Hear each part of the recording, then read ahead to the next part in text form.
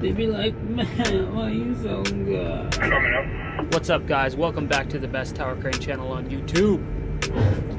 Yeah, I'm coming up. Please, if you like my videos and have watched them before, like, subscribe. It really helps me out. Thank you so much. I'm gonna go to this boat, that step section. You're not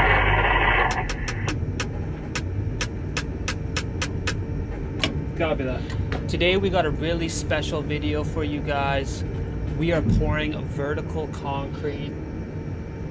That bucket is totally full. We got a great truck placement. It's a really short trip from the truck to where we're pouring. And you can see all that vertical rebar. It is sticking up probably a good 10 feet from the form work.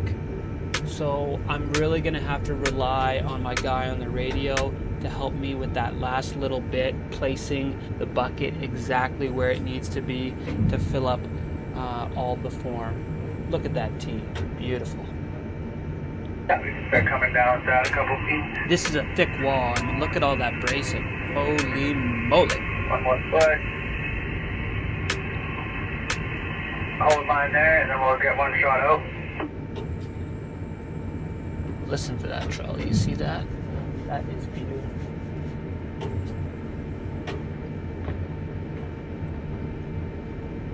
On situations like this where it's really tough to get that bucket in there, we're going to be using the chute, which just helps you, you know, get into a tight spot. Because that bucket is big, and I don't have much clearance between these rebar zones. Almost done pouring here. All clear. all clear, so I'm taking off. I always go slow at the start.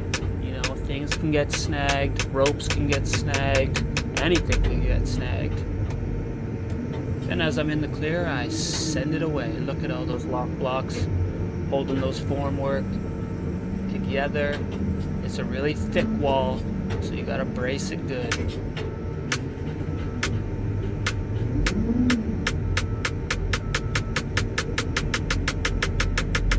We're gonna go back down to the bottom of the T. Now, if you guys are wondering what that clicking is, that is the speed of the hoist. So the faster the frequency of the clicks, the faster the hoist is going up or down. So that's cable up or down. Copy that.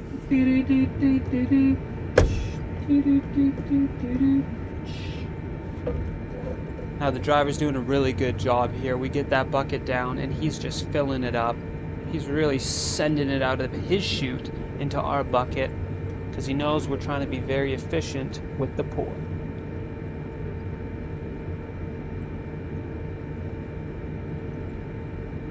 Coming up. Always go slow when you take the weight initially. Can't go from zero to five grand in a couple clicks. Take it slow, baby.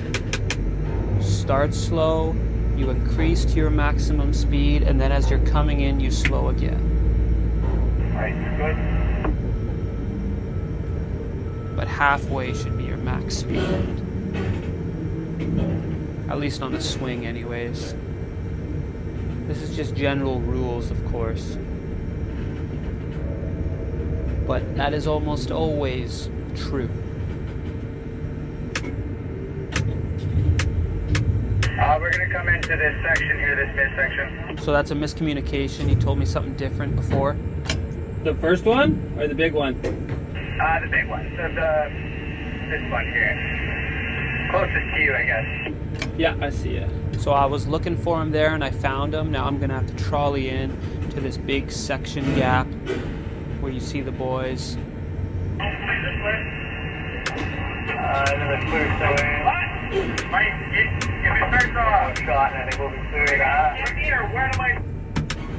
So as you can see, I got vertical rebar going, you know, up quite a bit. I have to be very careful not to have any swing. Yeah, looking good there. Come on down. Hands on the rope. Four feet. Hands on the chute.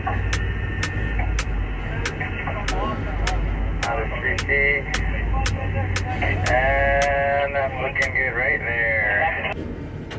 But ultimately, I'm relying on the guys on the ground to help me get in there safely. You know?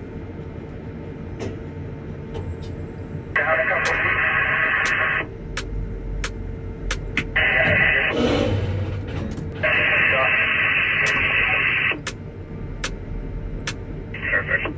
Oh, All clear. A good way to think about it is, you know, I'm driving the crane from the truck to the formwork, and my route is on me. uh, My height is on me. I can ask guys for help, but ultimately it's all on me.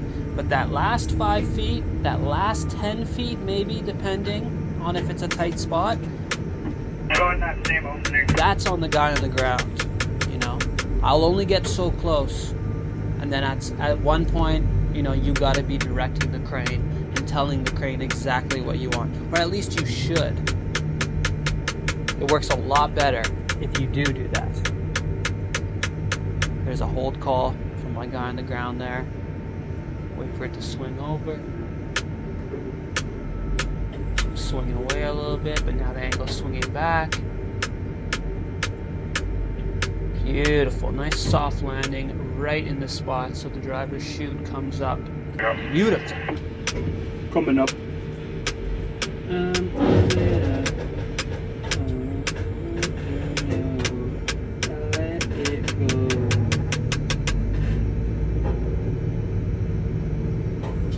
See the camera shake a little bit. That's how hard that crane is working. My guy on the ground gives me the heights good. I really like that. It's not something you always have to do, but if you're a ground guy, you know, for the first, if you're doing a big pour like this, where you're gonna be going through, you know, eight trucks or something, if you do it on the first truck, it's good. And after that, he'll know.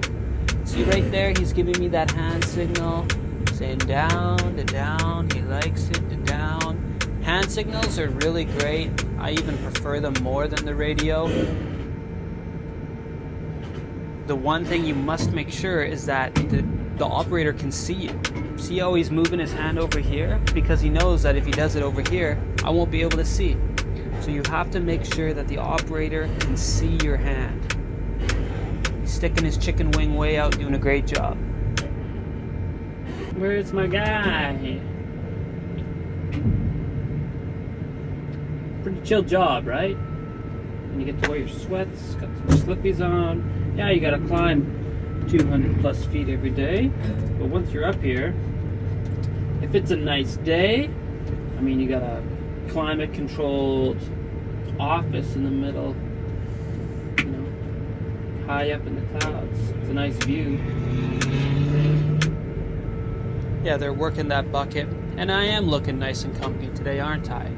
I knew that I was going to be co- pouring concrete for the majority of the day. And so I was prepared. That's it, baby. Obviously, I don't walk on a site looking like that. I obviously have my PPE on, and then I change once I get to the cab. So you can go on this uh, north side of the bucket here. Bobby. So that's a really great thing that the placer just did. As I'm leaving, he lets me know, hey, we're coming back to this exact same spot. That's a little hint saying, I want you to know how to get right back here. So take a look at your computer, take a look at your numbers, and make sure you can get right back here. See, I already know where I'm going after I fill up. It's just great knowledge. You always want to let your operator know where you're going next.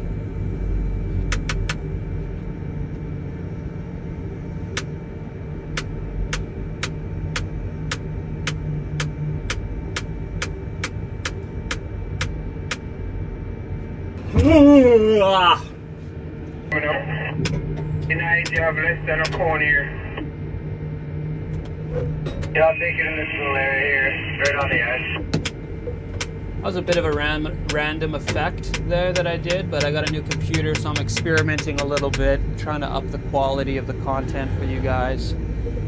And yeah, that's pretty much it. If you guys, you know, have anything that you want to know specifically about this pour or any other pour, or you want me to shut up and not narrate and just let you watch in peace, you know, drop it in the comments, let me know what you think. Or if you want other types of content, you know, just let me know in the comment section. And please like this video, subscribe, and turn your notification bell on. I know I honestly I hate to ask, but you kind of have to, fortunately.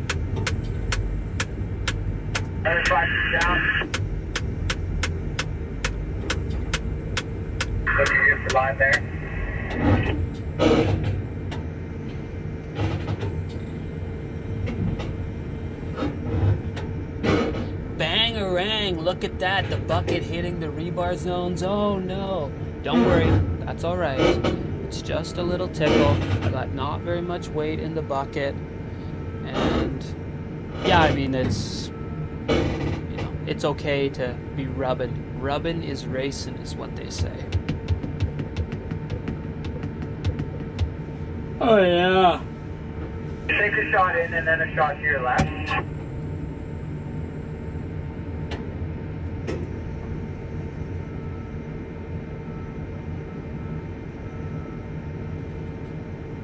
we're gonna kind of hold it out of the zone here as far as side. Alright, another shot out. There we go, boys. Correct that. This is probably going to be it.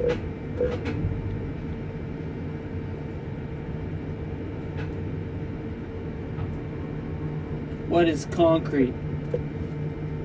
Concrete is a chemical reaction which induces stress. You get damn right.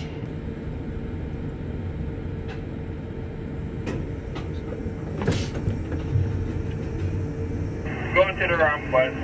I'm asking a little buddy here tells me. There was another Got good it. call by my guy on the ground because as you can see when I'm swinging the truck is no longer there that truck was empty that's why I did not have a full bucket and as soon as I'm done pouring he lets me know hey I'm over at the ramp meet me there hmm. How many more trucks we got? A few? Two? Two,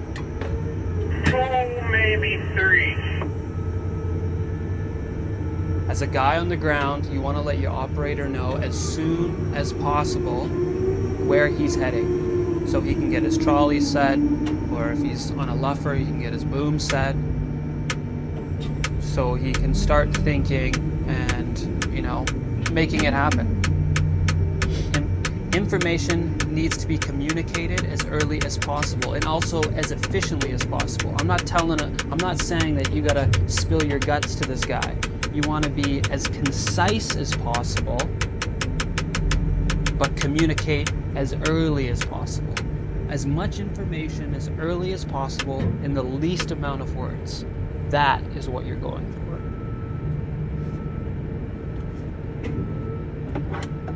Don't get excited, Steve. Two, maybe three more trucks. I'm just gonna ask how's she going over there.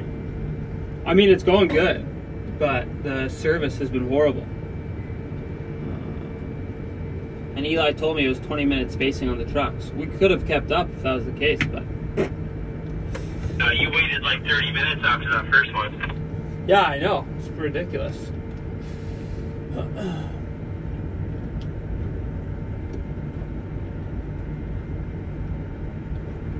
Oh yeah, there's another one coming in right now, though. Truck's pulling in, baby. I was gonna say towards to wash it.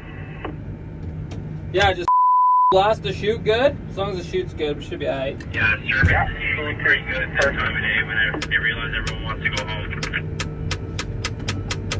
So the next truck is coming in. My guy was just uh, rinsing the bucket.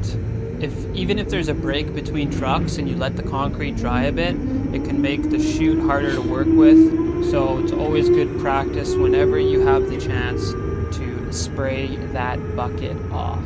And on this pour, we're using the chute essentially the whole time because it's really hard to get the bucket in tight and right over top of the wall.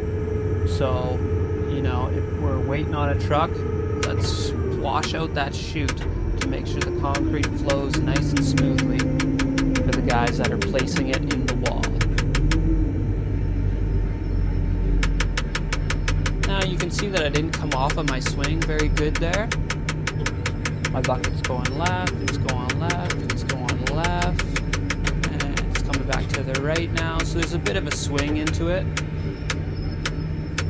And one of the tricks that I use is the shadow. You see that shadow on the ground? I can use that as a trick to tell how close I am. But my guy puts his hands on the bucket and helps me out, and I'm good to go.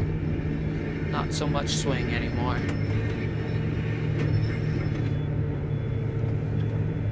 Come up a touch, bud.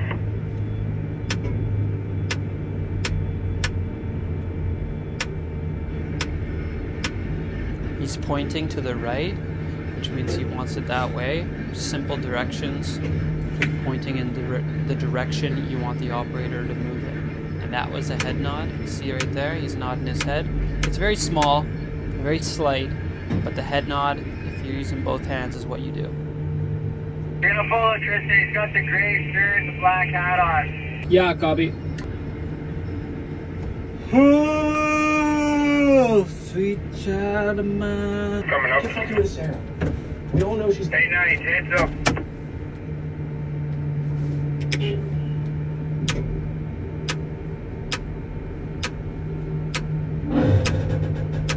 Don't you love the crane creaking? Did you handle being up way, way up there with the crane creaking like that? Not only does it creak like that, Don't up, but me. did you handle being up there with the crane creaking like that? Not only does it creak, but as I take the weight, I lean forward. The entire crane starts pointing down towards the ground. Because they're actually not flat, they actually point up quite a bit when they don't have any weight. But if you have lots of weight on, like 10,000 pounds of concrete, you start to slowly look down.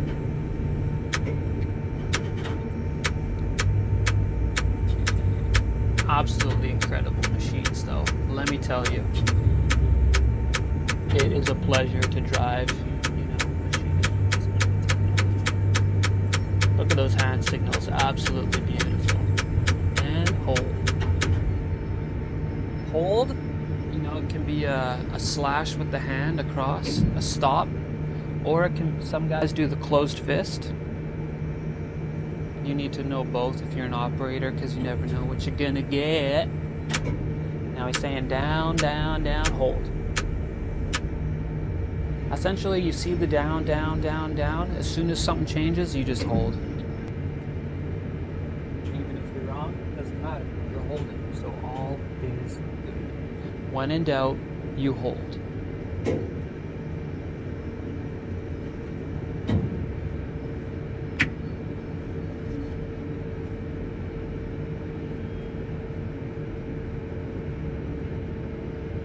Yeah, they're pouring here to figuring out what needs to happen. It's actually really hard. Like you would think you could just kind of pour all the concrete in this one void and it would just kind of spread out in between all these rebar zones, but it really doesn't. It's hard to move the concrete once it's placed. So you actually want to point uh, the chute directly into these rebar zones and then uh, it makes vibrating the concrete and filling up all those voids that much easier. Holy. This is a test for my patience, huh? Since Thanks for watching. Be a dad. You need Please like and subscribe. patience.